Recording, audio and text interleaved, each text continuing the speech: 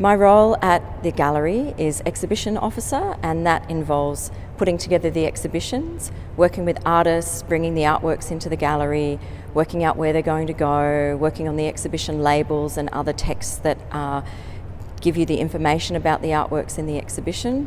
I look after things like insurance of artworks, condition reporting artworks, the transport of artworks to the gallery, the wrapping, packing, and storage of artworks for exhibitions, but also the gallery's collection.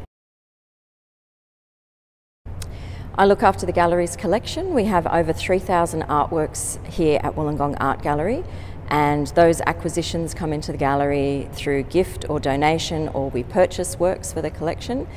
We are attempting to gather together works to tell the story of Australian art and our community so that uh, in many years' time people can reflect on the collection. The purpose of the collection is to tell our story, our history. So we have works that describe what the Illawarra was like um, before 1935.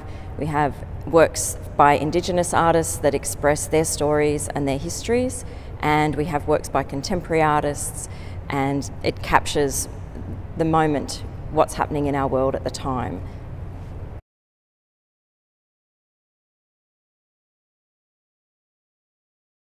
I also manage the storage and accessioning of those works, so recording the details of the artworks, who the artworks are by, uh, their biographical information, and the physical uh, descriptions of the artworks, and also capturing photographs of the artworks and keeping all of that information together in a database. I look after the gallery's artworks in terms of them being physical objects, so make sure that they're stored safely, that we do what's called preventative conservation to make sure that they don't deteriorate over time. And any works that have deteriorate or have condition issues, we consult with conservators to solve those, those matters, um, making sure that the artworks are free of dust, that they don't um, have any issues relating to the environment that they're in. So the gallery is always in peak environmental conditions, um, proper lighting conditions for different artworks and making sure that they are as safe as they can be because each artwork that comes into the collection is meant to be a part of the collection for 500 years so that's the time frame that we're working with to try and preserve these works for that length of time.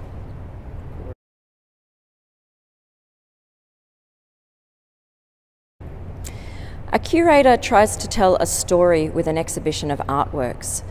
In my role, I get the opportunity to curate exhibitions from the gallery's collection quite often, and I bring artworks together so that they connect and they tell a story, uh, they respond to a theme, or they're bringing across an idea that just walking around an exhibition and seeing these visual items can give you a sense or an idea or a story. Uh, curating is a great pleasure it's like playing with art, bringing things together uh, is, you know, a fantastic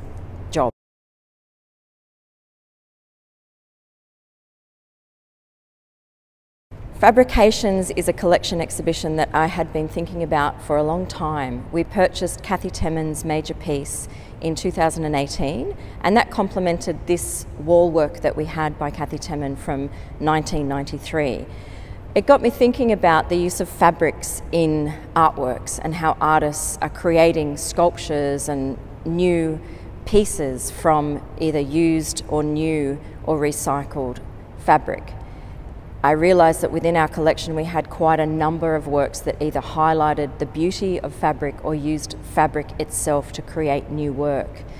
So I came to the idea that this would be an excellent exhibition and the use of fabric to me tells a story, especially when it is, as there are in this exhibition, many pieces that discuss clothing or have clothing as the medium, recycled clothing as the medium of the work.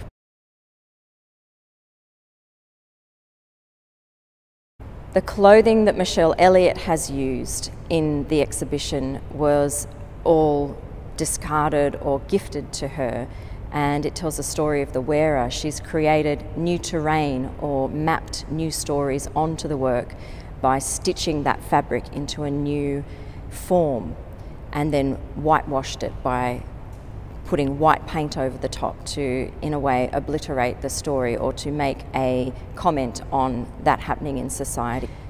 Kathy Cavaliere's work shows her making a nest or a mound out of her mother's clothing and meditating on that nest and looking out to sea. Okay. Anita Larkin's work is a sculpture that joins two people together. She's created a headpiece that joins people's minds, a chest piece that joins their hearts, and a foot piece that connects them physically by their feet. This work by Leonie Watson is a wonderful painting of a fabric form. Not all the works in the exhibition actually utilise fabric uh, in their creation, but they're depicting fabric. And this one is a knotted piece of fabric that has a hidden truth, that has a, some psychological content. And the work has a wonderful uh, you know, synchronicity with this very different work by Penny Harris, which is a sculpture, a bronze piece. Penny Harris's work looks at found fabrics and she's created a cast bronze sculpture using that very fluid form.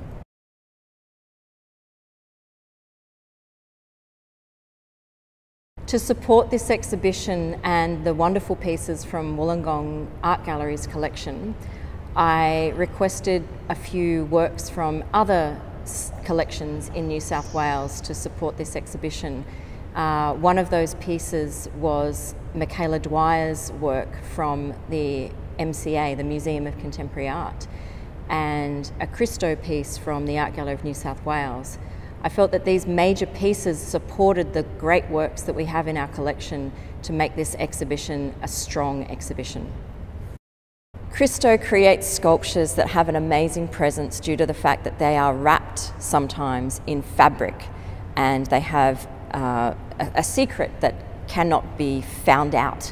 Um, you're not really sure what's inside. And it was a great pleasure to be able to bring this work into the gallery from the Art Gallery of New South Wales collection.